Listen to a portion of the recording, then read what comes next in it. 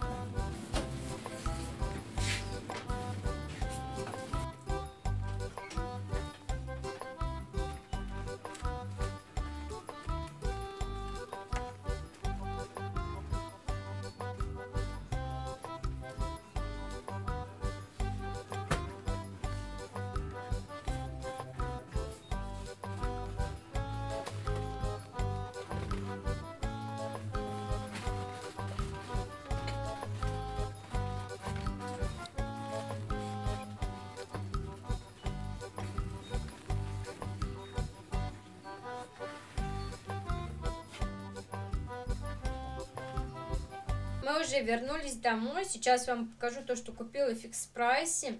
Я вообще на самом деле пошла в Fix Price, хотела там посмотреть себе на кухню электронные весы. Я уже давно хочу себе их приобрести.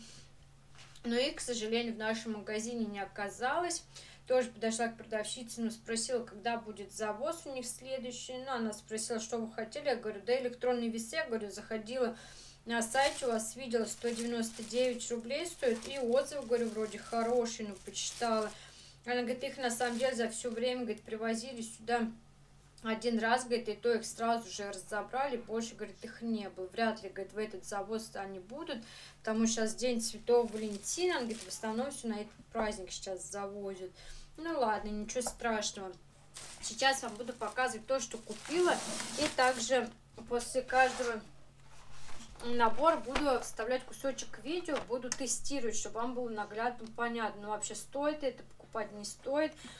Значит, взяла я вот такой игрушка-планшет для рисования. Но это больше, наверное, Диме будет интересно. Ну, хотя Жень тоже меня любит рисовать. Может, тоже так побалуется немножко.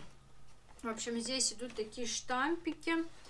Ручка. Ну, написано возраст 3 с плюсом. Ну, я думаю, Дима сейчас тоже, ему уже нравится рисовать. Он там карандашки уже не берет, пробует. Я думаю, ему понравится. Вот такие штампики. Этот набор стоил 99 рублей. Вот так выглядит планшет для рисования. Давайте вместе с вами его протестируем.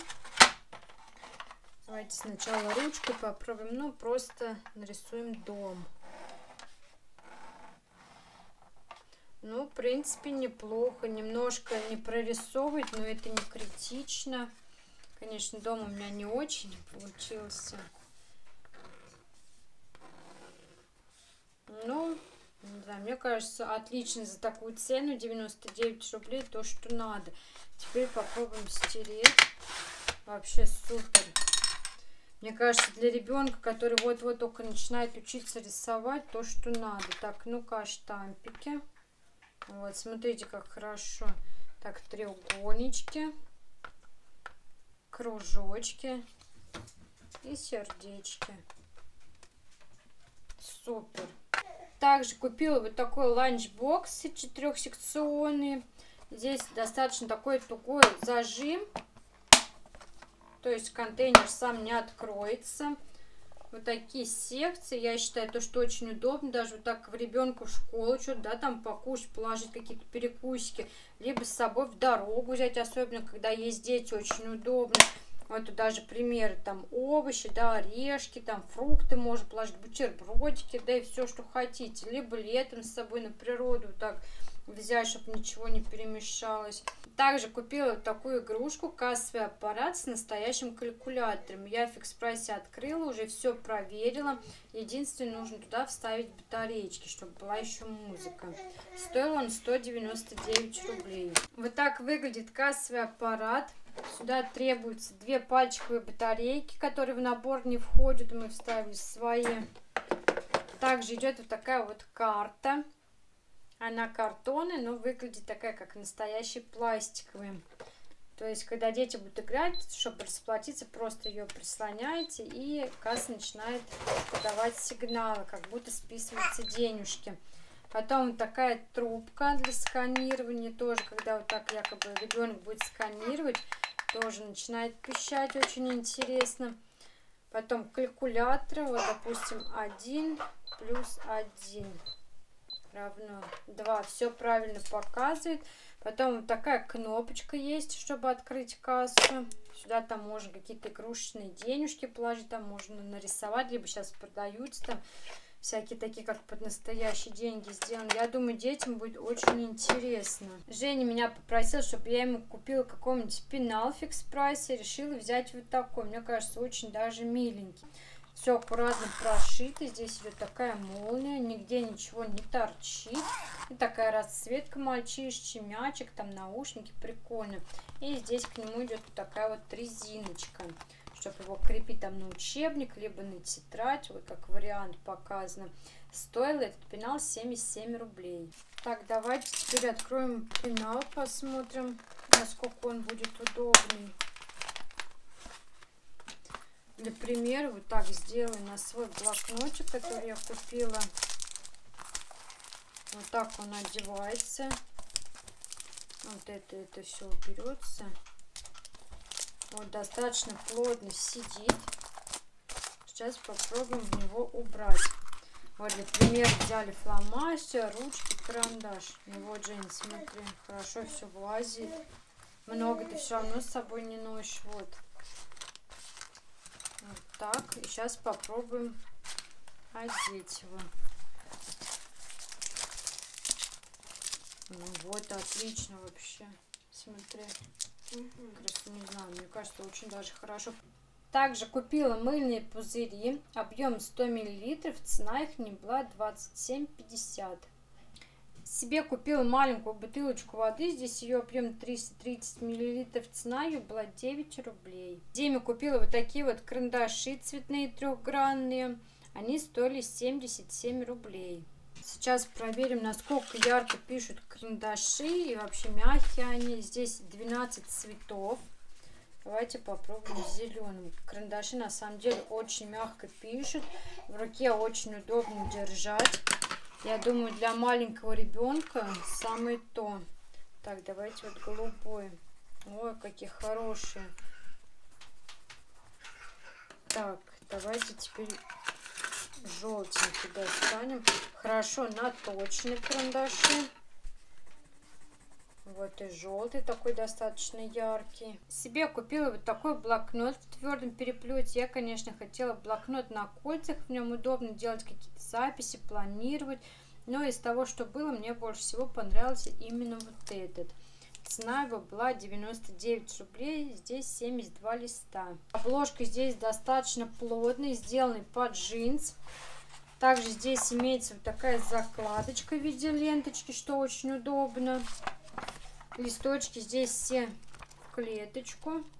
Я специально такой взяла. Там были также просто линейка, но мне больше нравится в клеточку. Так что я его буду использовать как свой планер, ежедневник.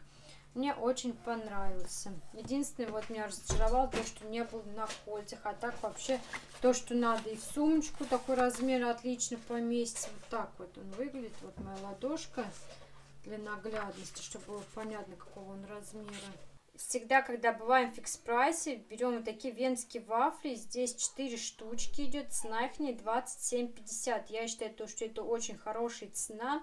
В нашем магазине такие вафли за 2 штучки стоят почти что 50 рублей. А это за 4, 27,50. Это вообще отлично. Это были все покупки на сегодня. Вот я вам покажу чек. Общий чек у меня вышел. Так, 694 рубля. Вот все цены. Всем спасибо за просмотр. Не забывайте подписываться на наш канал, ставьте лайки, если вам нравятся наши видео и пишите комментарии. И всем пока-пока.